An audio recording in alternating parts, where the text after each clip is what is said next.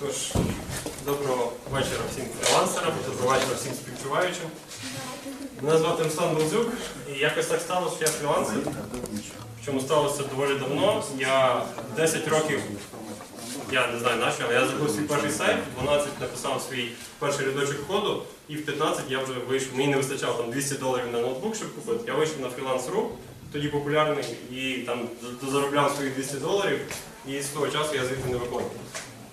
Власне, сьогодні я розкажу вам, як швидко і що головне правильно стартувати на фрілансі, тому що, в принципі, ну тобто на, минулій лекції я приходив, і тут було дуже багато людей, які були не фрілансерами і які не знали, з чого почати, як почати, як правильно почати. Я думаю, що в цій презентації я сьогодні а, дам відповідь на всі ці питання. А, тож, ну давайте ми спочатку розберемося, що таке фріланс. Ну, думаю, окей, що таке фріланс, не будемо розбиратися, всі більш-менш розуміють. Чому фріланс? Це веселіше. А, перш за все, фріланс це трошки інша філософія. Тобто, якщо ви працюєте на найманій роботі, якщо у вас є директор, він вам каже, ну там менеджер каже, от ти роби оце, там зробиш до цього, ти не робиш, він на тебе свариться і все таке. Але в тебе завжди фіксована ціна, ти там можеш її піднімати, можеш там на якісь курси ходити, і тобі її, можливо колись піднімуть. Але от такого, щоб от ти більше попрацював, ти попрацював продуктивніше і при цьому заробив більше, ну такого ніде немає. Це власне ну, відмінність фрілансу, відмінність бізнесу. А в фрілансі все навпаки. Тут винагорода повністю пропорційна зусиллям, тому що причому зусиллям не таким, що ну, тобто, я буду сьогодні 16 годин працювати і завтра, і цілий місяць, а потім я отримую вдвічі більшу зарплату. Тут, як власне відомій приказці, треба працювати не 8 годин, треба працювати головою. Тут це все очевидно. Але якщо ти будеш оцих 8 годин гарно працювати своєю головою, то твоя винагорода буде зростати, і це все залежить тільки від тебе, виключно від тебе. А, також фріланс добрий тим, що він динамічний. Тобто, особливо коли стартуєте, ви перш за все починаєте, у вас немає репутації, ви беретесь за якісь маленькі замовлення, великі компанії вам не довіряють, і ви там, ну, ваш основний клієнт це малий і середній бізнес. А власне, і отаких контактів з цим малим середнім бізнесом у вас дуже багато. Це люди, які привчилися, ну, це, вони запустили свій бізнес, вони також свого часу ризикнули. І якщо ви ризикуєте зараз, ви якимось, ви трошки близькі по духу, скажімо так. І от таких контактів у вас відбувається багато. У вас маленькі замовлення, ви їх виконувати можете там, не знаю, можна замовлення в день. Тобто вони можуть бути настільки дрібними, може там кілька замовлень в день. І у вас дуже багато з'являється контактів. Ваша соціальна мережа от таких от клієнтів вона росте з кожним днем, і з ними ростуть е, ваші можливості. Тобто, якщо у вас дуже широка мережа, кожен з них, ну, кожному з цих людей хочеться заробляти гроші. В кожного з них є якісь свої думки на рахунок того, як він може заробляти більше, тому що він вже в бізнесі, в нього вже є своя точка зору, він там зі своєї країни, і він, ну, він був радий заробляти більше, і щоб ви разом з ним заробили так само більше. І за рахунок таких контактів я знаю багатьох людей, які так само вийшли на фріланс, але їм це прийшлось не сильно по духу, хоча вони працювали, працювали, і тут вони знайомляться з якимось клієнтом потужним з Нідерландів. Вони якусь студію, студія з Нідерландів спокійно бере, вона вже перевірила цю людину протягом, протягом певного часу, вона спокійно бере його на роботу. І він працює просто називається ремоут, тобто ти сидиш вдома, ти працюєш звідки завгодно, ти там поїхав до бабусі в село, ти там поїхав в Берлін, куди завгодно, ти працюєш, але ну, фактично все те саме, тільки без офісу і з зарплатою рівня європейського євро. От, таких людей багато. Далі, перевага фрілансу це свобода. Причому, коли говорять про свободу, а згадують перш за все свободу часову. Да? Тобто ви просто виділяєте свій час і ви знаєте, що ми там, ну, ви, ви самі визначаєте, скільки часу ви будете працювати. Це призводить до того часто, що люди просто працюють завжди. Тобто є думка, що фрілансер це людина, яка працює завжди. Тобто в неї немає нового року, немає ночі, це просто така суцільна робота. Справді це все залежить виключно від фрілансера і від того, як ви почнете. І для того, щоб дати вам таку ну таку чудову правильну точку відліку, я думаю, я і говорю цю лекцію зараз. Тобто згадуй свободу часу, але насправді це не тільки свобода часу, це свобода пересування, це свобода того, чи ви робите щось, чи ви це щось делегуєте. Тобто у вас, ну, якщо ви працюєте на найманій роботі, за вас всі речі вирішує винятково менеджер. Він, ну, він там керує проектом, він за нього відповідає, йому треба там, з мінімальними а, зусиллями там, закрити максимальний проект. В нього не стоїть задача, щоб ви заробили найбільше, та, щоб ви ваш заробіток, щоб ваші зусилля окупились. В нього є задача його закрити проект. У вас ну, це все спускається до вашого рівня, ви цим а, керуєте, ви встановлюєте свої рамки. Тобто у вас з'являється свобода встановити самому собі рамки. І це, за цю свободу це насправді дуже цінна річ.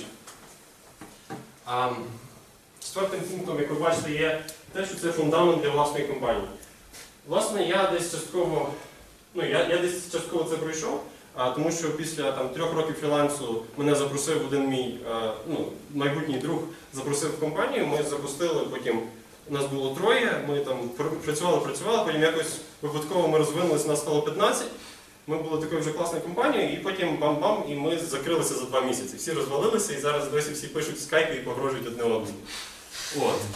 Зараз я бачив всі ці помилки, бачивши ці всі помилки на своєму досвіді, я намагаюся запустити свою компанію, думаючи про кожного і намагаючись їх всіх не допустити ні в якому разі, і щоб мені потім не.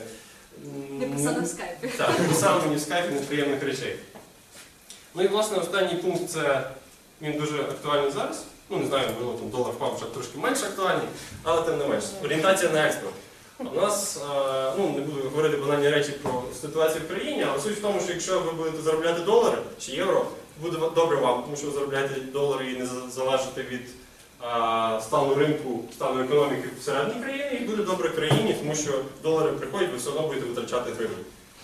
От, тобто орієнтація на експорт ну, це а, один з тих факторів, який так само не варто пояснювати. Тобто зараз з тих, хто стартує на фрілансі, навряд чи хтось піде на фріланс.ру, з якого починав я, і буде там заробляти не знаю, в рублях. Навряд. Зараз всі думають про ОДЕС, фріланс, про світовий ринок, і це правильно. От.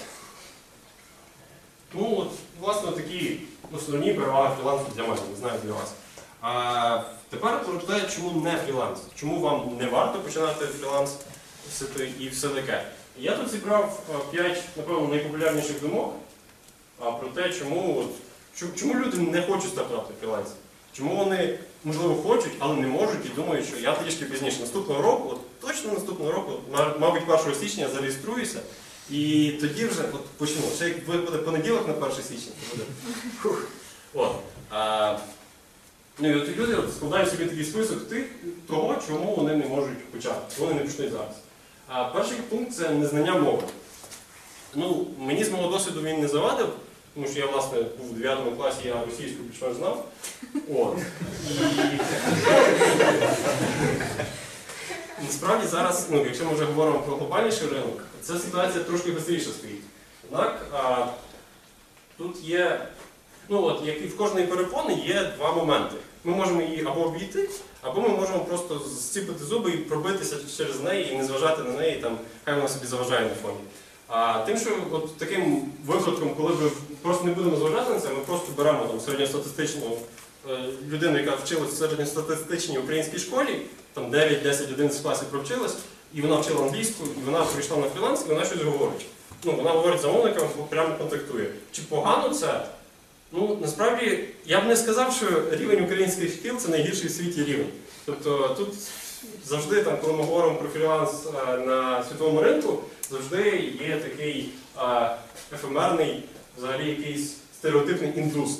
Тобто ми завжди, коли говоримо про цей ринок, ми говоримо про індус, який прийде і нас там забере всі наші проекти. А ще як їх прийде багато, то вони нам взагалі крихти залишаться. От. Е, Насправді, індус середньостатистичний. Ну, не скажу, що він говорить гірше за українця, але він точно говорить незрозуміліше. Тому російський акцент, ну там український російський акцент, він набагато зрозуміліший, і ви навіть по скайпі можете без проблем контактувати. Ну і а про такі речі, як про те, що власне там головне розуміти, а ну і вміти працювати, вміти робити. Ну і там, я думаю, ніхто не образиться, що ви там скажете My English is bad, sorry. От. Ніяких проблем з цим немає, можете починати. Ну, але ну, я думаю, всі розуміють, що якщо ми власне виходимо на фріланс, то цю річ потрібно покращувати. Цей аспект обов'язково потрібно покращувати, щоб могти потім а, з якимись більш серйозними замовниками говорити без жодних проблем. Тобто, якщо ви виходите на фріланс, я би дуже вам радив, навіть якщо у вас там якийсь upper intermediate, і ви там, ну, і ви вважаєте, і ви розумієте, що ви гарно знаєте англійську, це ніколи не завадить. Ніколи не завадить піднятися до Advanced, ніколи не завадить піднятися до Advanced 2 і так далі. Тобто ви просто з цим ви розширяєте кругозір людей, які будуть вважати вас, ну, скажімо так, рівним собі. Інший варіант, якщо ви ну, боїтесь вас там, не знаю, німецьку вчили в школі, а ці штуки можна об'єднати. Тобто ми беремо, записуємось, знаходимо репетитора, не знаю, в газеті ваш магазин знаходимо репетитора з англійської і кажемо, що, мовляв, ну от я такий-то програміст, мені треба, щоб англійську вивчити. Давайте ви мені будете вчити англійську, а за 10% від моїх проєктів ви ще будете перекладати те, що я їм говорю. Я думаю, за 10%, особливо коли там зробите перше замовлення, багато хто погодиться, і там, не знаю, студентки з Львівського національного університету будуть дуже навіть щасливі вам допомогти, по-перше, викладати, і по-друге, мати якийсь відсоток від того, що вони вам навикладають. А, третій пункт це те, що. А, власне, ні. Давайте ми оцей тоді закреслимо, тому що ну, незнання мови, напевно, що це не те, що зупинить вас від реєстрації на фрілансі. Я сподіваюся, що воно не зупинить більше. Другий пункт це відсутність навичок. Е, Пункт серйозніший, прямо скажу. А, давайте, якщо повернутися до мене, е, то в 9 класі мої пізнання в програмуванні були, ну, скажімо так, не найкращі. Я не знав майже нічого, але в мене був ну, який вибір. Якщо мені там, якщо я хочу на день народження ноутбук собі купити, такий в мене вибір. Якщо б я, наприклад, пішов в якусь компанію на повний робочий день працювати, ну скажімо, батьки б не зрозуміли мене в 9 класі. Щоб не взяли. Ну, вам це- не взяли. От, ну я б там вантажником пішов, я не знаю. Повний робочий день, ну не знаю. Вони, ну, ніхто би не зрозумів, ніхто би не оцінив такого мого пориву купити собі ноутбук. Але ну, тобто, залишається принцип фрілансу, і в мене такого не було. У мене був єдиний вибір, я пішов, щось там робив якісь сайтики на WordPress. Взагалі жахливі, вони деякі з них до сих пір висять, і мені навіть соромно на них не заходити, але це ляві. От. А, насправді відсутність навичок це дуже потужний стоп. Тобто я розумію, що якби в мене не було школи, ну, я би там, це зрозуміло, що я був неграмотним і все таке. Але якби я це було там на три роки пізніше, я там був ще в університеті, а, я би краще зараз, мабуть, пішов на роботу в такій же ситуації. І в компанію, в якій буде там багато людей досвідченіших за мене, е, старших, можливо, в чомусь, е, тих, які нюхали більше пороху, які мені, по-перше, вони мені більше розкажуть, по-друге, вони мене швидше підтягнуть до свого рівня. А проте, якщо є у вас ситуація, коли ви не можете робити full-time, а, як тоді в мене було, наприклад, там, е, ну, ну, не знаю, якщо ви просто змушені вдома сидіти, зламали ногу чи щось в такому форматі, а, це точно не повинно бути це точно не повинно вас зупиняти. Тому що, знову ж таки, можна заплющити очі, можна працювати. Можна якось це виправити. Заплющення очей це коли ми просто кажемо, що ми ну, щось там знаємо.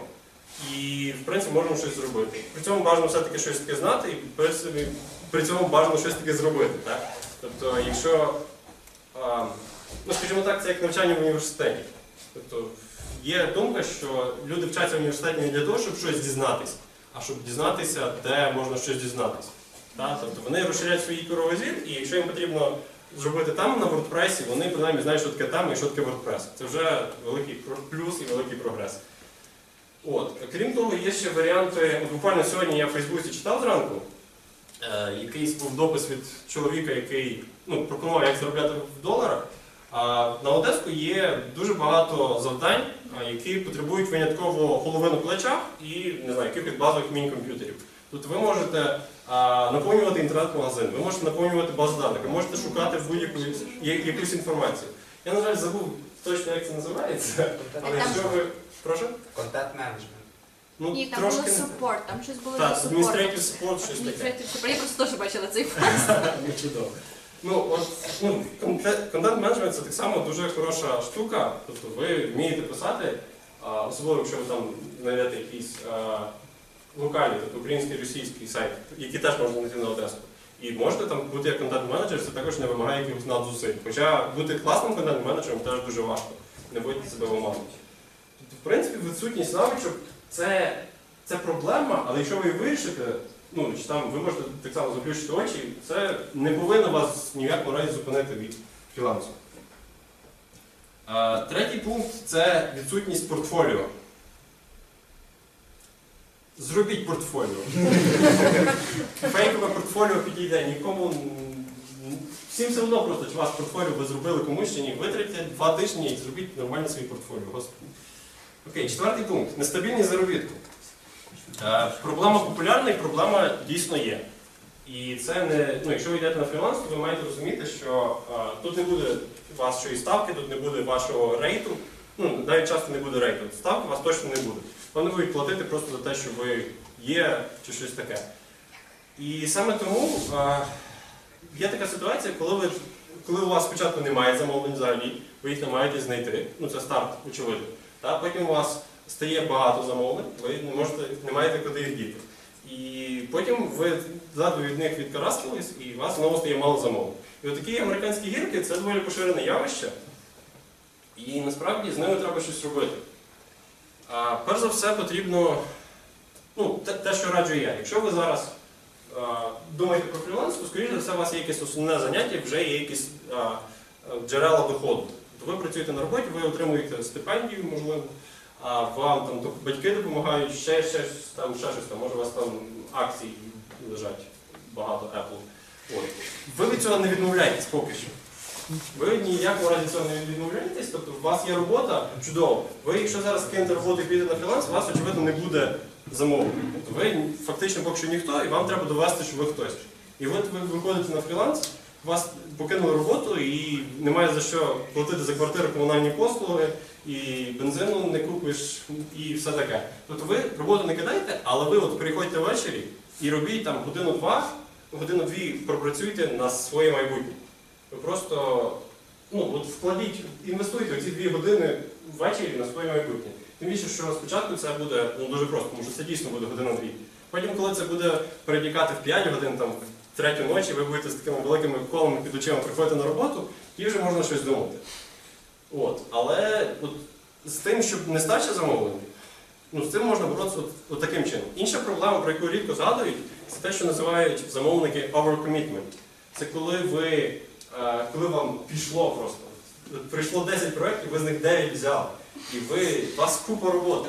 І ви просто, ну не знаю, ви відчуваєте себе Богом. Ви вже собі в думках підсумували, знаєте, там в Excel, і внизу там ви там циферка з трьома нулями, скільки ви заробите і куди ви полетите, ви вже теж думаєте. Але насправді проблема в тому, що коли у вас є досі такі американські гірки, ви набрали цей, ви діс- до- добрали до оверкомітменту, ви не, скоріше за все, ви не закриєте ледь не жодного з цих проєктів. Тому що ви будете закривати, от ви працюєте над одним проєктом, а замовник, з яким ви давно не балакали, він каже, а чого ти мені нічого давно не показував? Ви думаєте, треба щось показати йому. Ви берете, йдете за другим, цей поставили, я тут вже щось зробив. так? І другий. І так ви по колу між цими дев'ятьма проектами будете переключатись, і ви в підсумку закриєте може один. Може. От. З цією штукою можна боротися лише власне, своїми силами. Тобто ніхто вам не допоможе, вам просто треба реально оцінювати свою, свої сили, реально оцінювати стан справ, скільки у вас вільного часу, і тут вам взагалі ніхто не допоможе. От, до речі, кульки класно. Ну. От, це я власне закреслив, це і написав, що треба робити. П'ятий пункт відсутність самоконтролю. Е, Цей пункт, власне, найсерйозніший. Тому що з цих п'яти пунктів це єдиний пункт, проти якого мені нічого сказати. Якщо у вас немає самоконтролю, якщо ви не можете змусити себе сьогодні піти працювати на цього замовника, якщо ви не можете змусити себе взяти за проєкт, який вам можливо трішки не подобається, але його треба закрити, Якщо ви не можете змусити себе написати замовнику, який вже у вас третій день, якого ви ігноруєте третій день, тому що ну, просто вам нічого йому написати. Якщо у вас є такі, а, якщо ви не можете цього подолати в собі оцей стоп внутрішній, то я просто єдине, що я можу сказати, вам поки що не варто виходити на фріланс. Просто ну, інакше ви просто поповните ряди летючих голландців, які просто беруть всі проекти, потім зникають. І просто не знаю, псують імідж всіх фрілансерів. Це тому, чому думаю, що краще когось наняти на ставку, ніж а, дати великий проект на фріланс. Це, власне, от єдиний пункт, який вас може зупинити реально. Тимчасово, але зупинити. Всі решта, ну, біда. І тому я зараз, напевно, зроблю такий гучний підсумок, але я зрозумів секрет того, як власне швидко стартувати на фрілансі. І більше того, цим секретом, до цього секрету рано чи пізно дійшли увага, 100% успішних фрілансерів. Абсолютно кожен фрілансер. Ти з ними говорив? Я впевнений в цьому. Це статистичні дослідження широке. Це 100% фрілансерів. І, власне, такий є в мене секрет, я вам зараз його розкажу. Але вам потрібно розуміти, ну, що, власне, якщо, якщо цей секрет такий секретний, то його треба власне використати вже зараз, тому що зараз всі зрозуміють, і в нас тут стане десятків на 30 більше фрілансерів, і це все ваші конкуренти. Тому а, секрет, яким користаємося свого часу 100% успішних фрілансерів. Почніть сьогодні. Ви зараз прийдете додому. Ви захочете повечеряти, безумовно. Ви захочете подивити- подивитись телевізор. А-а-а. Тому що ви маєте згадати, що ви хотіли давно вийти на фріланс. Ви давно хотіли спробувати. Вас щось зупиняло. Але ми, здається, вже розібрали те, що вас зупиняло. От вже що вам заважає не почати сьогодні? Ну я не розумію. Тобто, якщо ви почнете сьогодні, але при цьому підпочати сьогодні, будь ласка, не вважайте то, ну, не майте на увазі те, що ви зараз прийдете додому, зареєструєтесь на голландці Одеску People per Hour і почнете. І все. І зараз до вас всі прийдуть. Почати сьогодні означає почати сьогодні і більше не зупинятися. По можливості ніколи, ну але це вже ваше рішення, і це вже те. Тут так само все залежить абсолютно від вас. І чому я називаю це секретом швидкого старту? А, це власне тому, що багато людей думають, я почну в понеділок. Там ми вже розбирали цей кейс, я почну в понеділок, я почну з нового року. І власне, от за рахунок цього, що ви почнете завтра, ці завтра настільки накопичуються, що в будь-якому разі швидше буде почати сьогодні. І як би ви повільно не починали, але ви почнете швидше, ніж ви будете відкладати це на завтра. Це просто не знаю. Я сказав, назвав це істиною. Але це напевно не так. Отож, ви, от ви приходите сьогодні додому, ви зареєструвалися, ви не знаєте, що робити. Давайте ми просто детально розберемо те, як швидко, ну швидко ми вже розібралися, так, це добре. Як правильно стартувати на фрілансі. Тут є багато шляхів, якими ви можете піти. Тут насправді, от вже на цьому етапі вам треба прийняти, ну крім цього першого глобального рішення, про те, що ви таки стартуєте на фрілансі. Тут вже почнеться, вам потрібно буде приймати дуже багато нових рішень, робити якісь вибори, можливо, які дуже серйозно впливають на ваше майбутнє. Але поки що ви цього не знаєте, і вам потрібно зробити рішення хоч якесь. Тобто ви можете знову ж таки тут так само застрягнути. Ви можете подумати, хм, на яких мені фріланс-біржах зареєструватися. І ви не зареєструєтесь на жодній. Там як заповнити профіль? Ну, мені здається, що більшість а, зупиняється на, саме на заповненні профілю. Ну, але важливо, щоб ви оці 5 пунктів, як би ви їх не пройшли. Але важливо, щоб ви їх пройшли сьогодні, ви пройшли їх за 2 години. Це абсолютно реально. І це абсолютно. Це, це абсолютно просто візьміть, заваріть собі чаю і зробіть це. Нічого складного в цьому взагалі немає. Тож, перш за все, ви приходите додому, а ви відкриваєте, ну, по можливості, 6 оцих сайтів. Я їх а, перечислю, це Elance Odesk, два найбільших, дві найбільших біржі, а в принципі до них ще всім решта далеко. Там основні гроші крутяться і там найбільше клієнтів. Ну, з мого досвіду, 80% замовників це Elance. Хоча з іншого боку, частка потужних замовників, ну таких крупних клієнтів, от більше чомусь на Одесу. Тобто вибрати щось між ним, сконцентруватись, ну, я не думаю, що це так працює. А є ще People per Hour і freelancer.com. Це такий вже трошки другий ешелон, ну але там принаймні так само абсолютно реально дістати собі замовлення, замовлення і замовників. Тут ще є два логотипи. Fiverr – це досить цікава концепція сайту. Вони фактично ви виходите туди і пропонуєте свої послуги за 5 доларів. Тобто у вас є якась стандартна типова послуга, я зроблю вам логотип за 5 доларів. Я озвучу вам ой, ролик за 5 доларів і все таке. Тобто, і при цьому є люди, які на цьому реально заробляють. Тобто, по-перше, 5 доларів а, це, це дуже мало звучить, і це є дуже мало, всім очевидно. Але при цьому у вас відбувається контакт. Тому що, якщо людині сподобалось те, як ви своїх 5 доларів відпрацювали, а, в них там наступний цей, тобто ви додаткові послуги платно пропонуєте. І там буває таке, що там ти заплатив 5 доларів, а потім тобі так сподобалось, що там 200 доларів відправив тільки так, тому що дуже класно, тому що ну, просто чудово йде. От. І є ще guru.com, я про нього чув, але якби я просто його тут не вставив, то була б крива табличка. І тому Там теж можна зареєструватися. Ми навіть знаємо людей, які працюють. От. Другий крок заповнення профілю. Так само абсолютно простий би крок, але чомусь мені здається, що найбільше людей саме на ньому зупиняються і думають, що побачивши таку таке простирадло з полів, які треба всі обов'язково заповнити, а ще як їх там 4 сайти чи там 2 хоча, б, Ну, вони лякаються і думають, ну от завтра заповню. Завтра ніколи не наступає і люди просто забувають. А насправді тут нам допоможе така річ, яку знають всі програмісти, це Agile. Тобто нам потрібно поступово розвинути. Там, не знаю, в Росії це називають методом прогресивного JPEG, так само термін для трошки для гіків. Вам потрібно просто заповнити всі поля. Ну, тому що там є такі, які просто без заповнення яких не можна буде зберегти профіль. А пише там, ну, не знаю, там стандартний на Одеску, особливо вони це люблять. Там є величезні поля, такі там по 20 рядочків, заповніть, напишіть 10 речень про себе. Ви тут абсолютно можете ввести три речення або одне, але щось введіть. Ніхто на це, ну тобто це, якщо ви не ведете його, якщо у вас буде порожньо, це такий стоп. Так? Якщо ви ведете, це, це фільтр, який відсіє, там, умовно кажучи, 10% особливо там прискіпливих клієнтів. Якщо ви а, при цьому заповните його хоч трошки, ну вже цей 10% зменшиться до 3. Просто візьміть і заповніть все, це не настільки важко. Далі всі кидаються проходити тести, тому що на Еланці і на Одеску є тести, які власне, мають визначити вашу, вашу компетентність. Ну, насправді тести важливі, але я б не назвав їх настільки важливими. І з тих клієнтів, з якими я говорив, ну ніхто не дивився, що я там дуже класно знаю якийсь там умовний HTML. Так?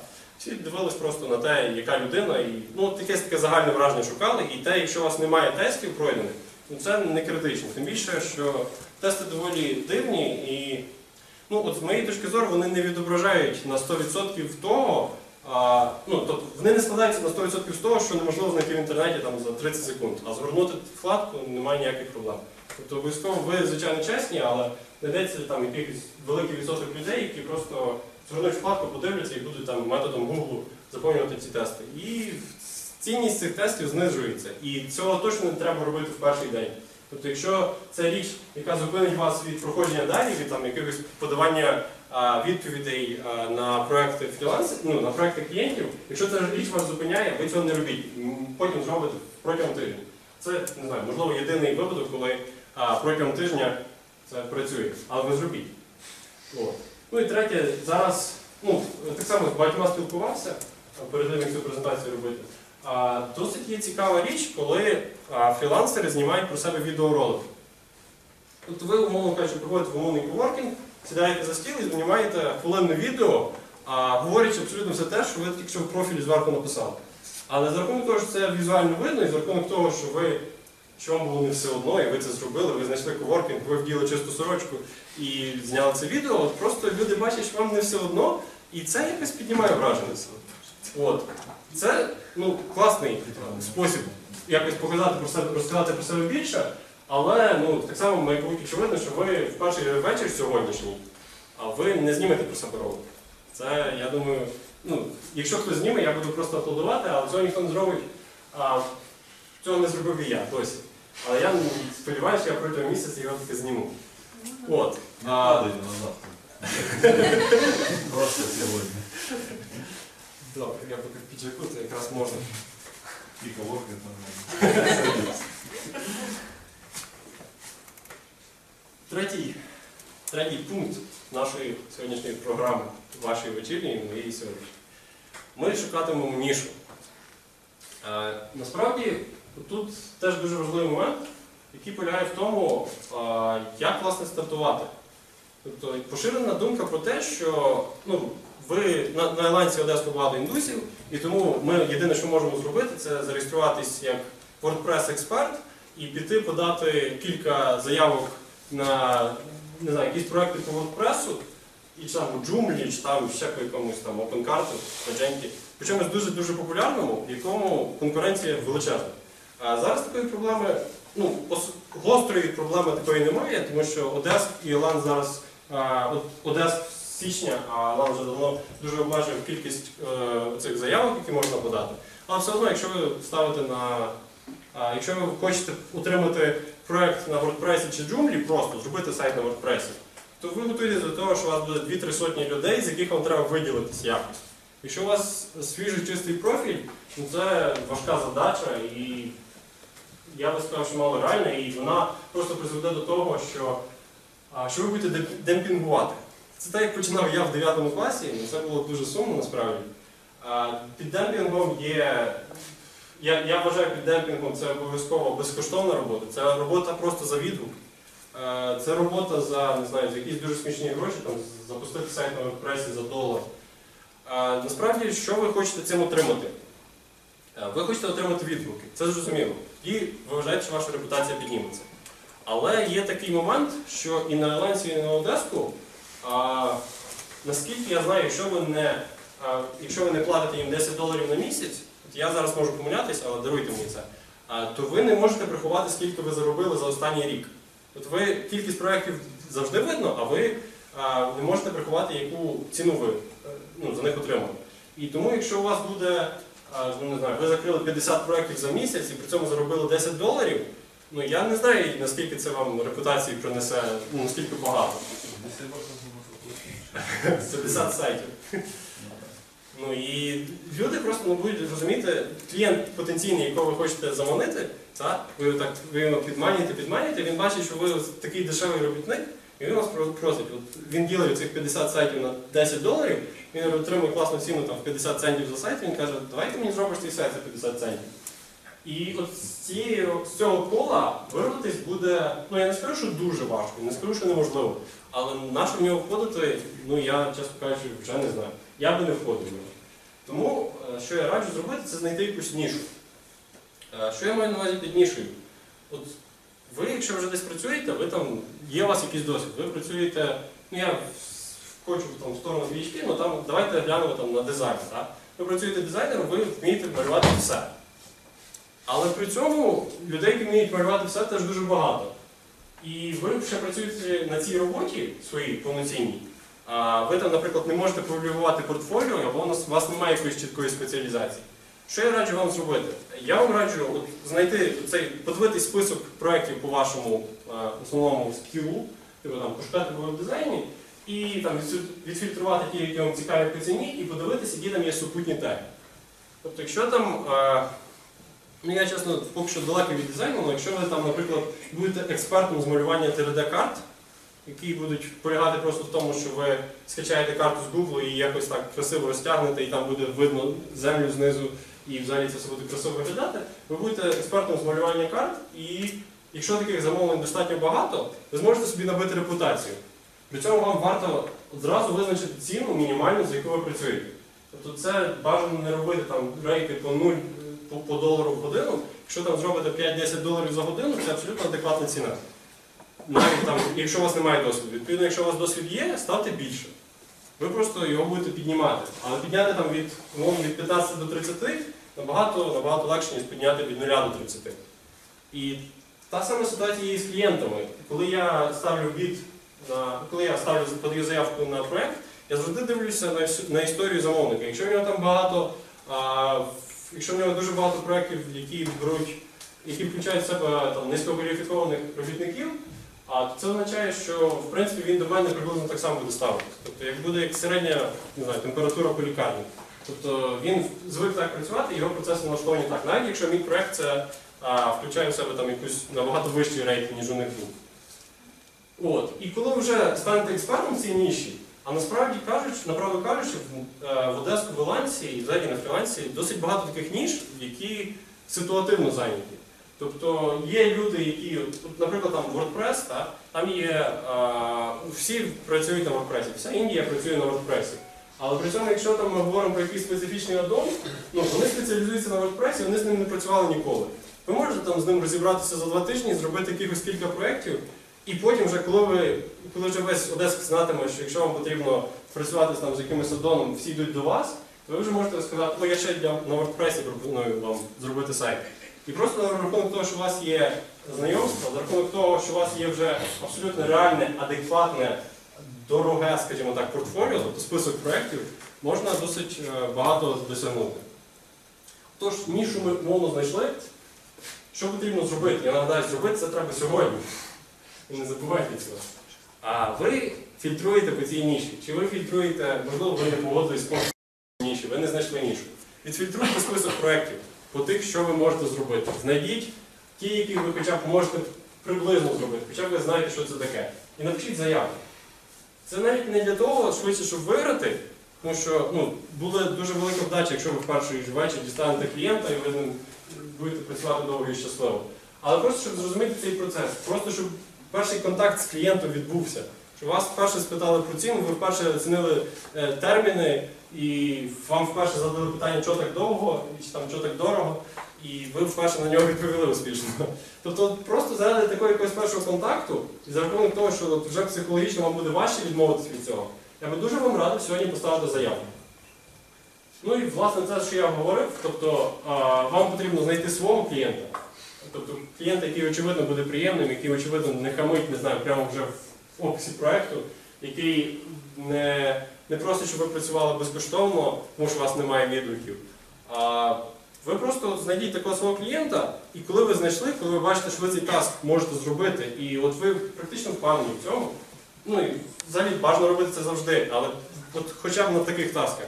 Робіть дуже персоніфіковані заявки. Тобто, якщо людина каже, що а, от в неї є такий там проект, вона про нього кілька слів розказала, що робиться далі? Далі, в першу чергу, виходять компанії Індії, Бангладешу та Пакистану, компанії, в яких там дуже багато проєктів, які просто наймають таких же фрілансерів. І ланцюжок цих фрілансерів може там на 4 рівні глибини доходити. І вони ставлять ставки. Вони не читають цього, вони, я навіть сумніваюся вже, що там є жива людина за цим. Ну, Там боти, які ставлять ставки. Потім виходять трошки менші боти. Тобто люди, які просто вже досвідчені фрілансери, і вони просто копіпастять текст кожному цьому. І знаєте, як є такий метод статистичного пікапу, називається, коли ти запропонуєш 10 тисячам дівчатам зустрітися сьогодні ввечері, то з них 10 погодяться, тому що просто статистика. Ну, ну і, така сама ситуація. Вони відправляють багато заявок і щось там виграється. Ну і тим більше у них там є відгук. А якщо ви при цьому відреагуєте швидко і напишете дуже персоніфікований текст, і під цим я маю на увазі, що ви скажете, ви йому ви своєму клієнту задасте 3-4 питання і скажете, що ви з цим допрацювали, з цим не працював, але я зможу. І взагалі мені було цікаво попрацювати з вашими шлангами для садів, які ви продаєте. І це дуже класний досвід, і я дуже люблю шланги. В хорошому сенсі. То я думаю, що він е, з набагато більшою ймовірністю звернеться саме до вас. Ну, хоча е, також хотів би застерегти від вас від того, щоб ви не розчаровувалися, якщо якщо вашу заявку не обрали, ну це її поки що не обрали. Так? А, тобто ви подавайте нові і не втрачайте ентузіазм, тому що, ну, тому що метод статистичного пікапу. Є ймовірність того, що там отримати замовлення, не залишаючи заявок під проектом? Ну, типу, якщо коли тебе знаходить сам замовлення. Є, але якщо ви тільки що зареєструвались, нема. Тобто після того, коли у вас вже будуть відгуки, у вас ніяк відбувається створення проєкту. Там, наприклад, Одеска, так? Людина заповнює е, назву проєкту опис, і потім вона вибирає скіли. В нього є три поля з різним там, можливістю скілів. І потім по цих трьох полях підбирається абсолютно, ну тобто як за якимось таємним алгоритмом підбираються фрілансери. Тобто це не суто сортування по рейтингу. Це не сор- я не знаю, по чому сортування, напевно, там по відповідності цих тегів. Але при цьому, тобто, попасти в цей список дуже реально. Е, Причому навіть реально попасти, якщо ви там взагалі до цього не відноситесь. Тобто мені постійно приходять якісь інвайти, там на еланці особливо дуже грішать це. Приходять е, заявки на ну, інвайти, запрошення на проекти, які там, не знаю, на дотнеті. У мене дотнет навіть близького профілю немає, але чомусь їм я вийшов в цьому списку і вони вирішили мене запросити. Ну, я поки що такого відхиляю, ну, а потім, якщо я дуже класно розширюся, ну подивимося. Отож, ну і власне важливо швидко реагувати. Як зробити це, я зараз вам розкажу. Це п'ятий етап. От ви пішли, ви подали, ну, може там всі, всі заявки, у вас обмежена кількість заявок. Наприклад, на Одеску подав 25 заявок сьогодні ввечері. Ну, окей, добре, можете це зробити. А що робити далі? Е, Заходити постійно на сайт, ну це не цікаво. Насправді є дуже класний спосіб, яким я користуюсь досі. А, от я вам скажу, от коли ви шукаєте на Одеську чи Ланці проекти, то є Одеський ланц, а там є така чарівна помаранчева. Там цей. Упс, Що це було? а як в? А, Ctrl-F. Ні. Ні.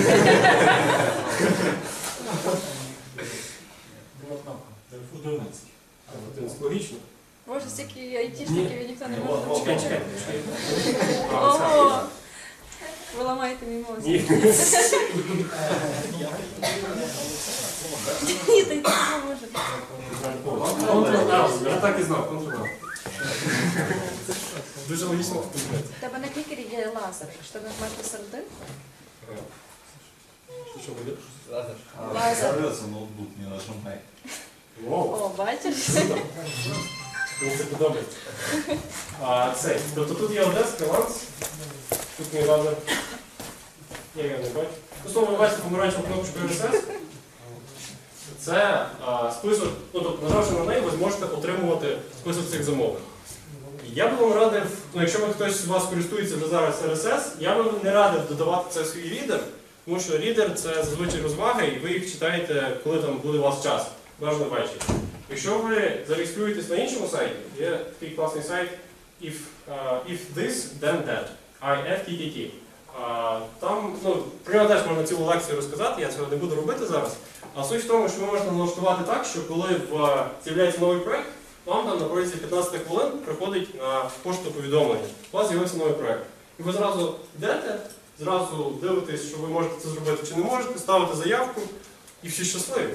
І клієнт, який отримав персоніфіковану заявку через 10 хвилин і від якогось класного українського хлопця, там дівчини, ну, він так само буде щасливий і теж буде сподіватися, що у вас е, налагодиться дуже е, довга і плідна співпраця. Тобто от з такою штукою я користуюсь досі, вона дійсно рятує в дуже багатьох моментах. На цьому приблизно все.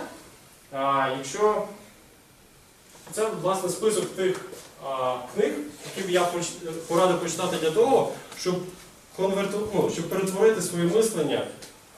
Це так, знаєте, трошки по MLM звучить, там МММ, на вроді все таке. А щоб конвертувати своє мислення з а, якогось, ну, подумати з точки зору фрілансу. Це е, Rework та Remote, це в принципі одна серія. І, власне, веселіші книжки Why Work Sucks and How to Fix It, і трошки більш філософська, скажімо так, Defining the Cake. Я радив би, якщо цікаво, е, це такі більш мотивуючі книжки, які, ну, які вам дадуть, можливо, більше, ніж я сьогодні сказав. Точно більше, навіть не сумнівайтеся. Отож, давайте ми трошки це підсумуємо. Що вам потрібно запам'ятати, крім того, що ви приходите сьогодні ввечері, там чай і одеський ланц. Будь-якому клієнту, який приходить сюди, потрібен надійний партнер. А, причому часто це регулярна, якщо не постійна співпраця. І якщо ви йому можете це запропонувати, він ніколи не буде шукати когось іншого. Ви тоді можете навіть потихеньку ціну піднімати. Він на це не буде зважати, поки він задоволений вашою роботою, поки він з вашої роботи отримує е, такий самий зиск, який він хотів. І поки в нього е, дохід росте, він буде дуже щасливий, і він ніколи в житті вас ні на кого, ні на стереотипного індуса не поміняє. А говорити з клієнтом треба регулярно. Навіть коли нічого казати, що дуже важливо. А, тобто дуже поширене явище, це коли ну, ти там нічого не зробив два дні, і ну, ти там не знаю, заплив. Так. А ти ж не скажеш клієнту, я заплив. Ти йому скажеш, що в мене було. Можна сказати йому наплести три вовни, е, три мішка вовни про те, що я власне робив. Можна сказати, я мудак. Але я не зробив нічого, але я завтра зроблю. І при цьому зроблю ще трошки більше. І ще тут вам цю кнопочку додам. І ще може щось. І коли ви так йому подасте йому приклад того, як ви ведете себе в жахливих, в негативних умовах, він просто розумітиме а, в те, що ну, він, він просто прив'яжеться до вас тісніше. Тобто, отакі факапи, такі проблеми ваші, це завжди ключ до того, щоб стати друзями з клієнтом, щоб клієнт зрозумів, що вам не все одно. Це дуже важливо. Третє правило клієнта, вам ніколи не повинно бути все одно. Навіть якщо у вас депресія, ви все одно кидаєте йому смайлики, ви все одно е, радієте там, ну як не, не як собачка, звичайно, але там радієте кожному контакту з цим клієнтом. Ви завжди кажіть, що у вас класний настрій і взагалі. Тобто ми на фрілансі, ваш основний клієнт це малий середній бізнес. А вам не треба корчити з себе великого знавця корпоративної культури і не треба там починати вести там Dear Sir, Madam і все таке, і закінчувати Yours sincerely. А цього робити не треба, вам треба показати, що ви жива людина, що ви теж хочете, щоб клієнт, е, щоб проект клієнта вийшов, і щоб це, ну, щоб вам заплатили, і щоб всім було, всі були щасливі. І два основних правила. Почніть правильно, тому що точка відліку дуже важлива.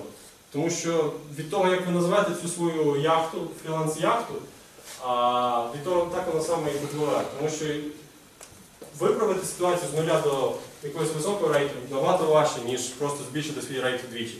Ну і основне правило, яке я сьогодні сподіваюся вам доніс, це почніть сьогодні. Власне, я дякую.